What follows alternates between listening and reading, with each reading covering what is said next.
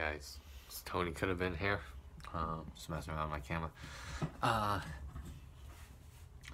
so I know I mentioned uh, psychokinesis in a uh, previous video, and um, actually I was I was curious, so I started doing some research on it, and um, what I thought psychokinesis was was the ability to create sparks of light, but thanks to Wikipedia, I just looked up um, it's basically just another term for telekinesis, which is very interesting to me. Because I'll, I'll quote it right here um, psychokinesis or telekinesis is an alleged psychic ability allowing a person to influence a physical system without physical interaction. Now, I did some, uh, I looked up some videos on YouTube and stuff, and I've been reading about it, and um,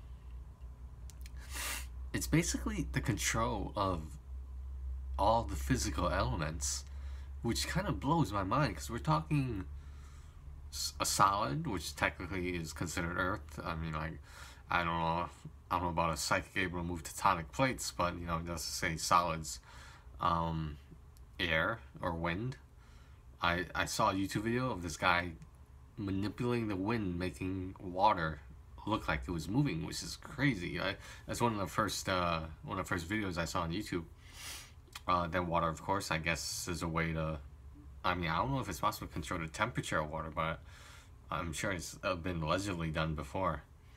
And um, there's uh, fire, which is pyrokinesis, of course, but um, I think that's been obviously that one was glamorized and horrified by the uh, the movie genre, but um, it still blows my mind. It's crazy. So there's earth, wind, fire, water.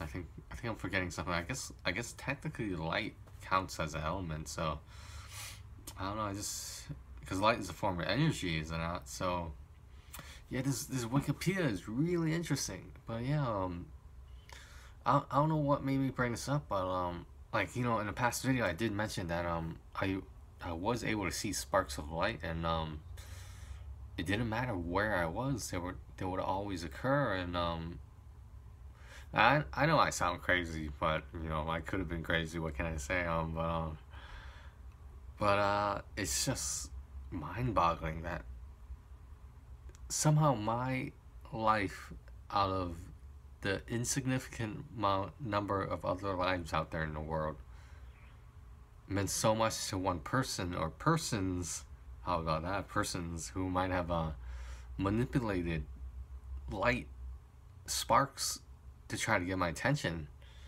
which is wow. I mean, like, don't don't people know what a phone is? can, they, can they send me an email? Uh, I just thought that was really really weird and interesting. But um, I know what I saw. I mean, I don't I don't care how crazy I might have seen, but I know what I saw, and that's what I saw. You guys, please like and subscribe. Feel free to share with me your supernatural, telekinetic, or psychokinetic stories if you want to. Um, leave it in the comments or just you know shoot me a message. Uh, all right, that's a short video for today. Short video. I'll talk to you guys later.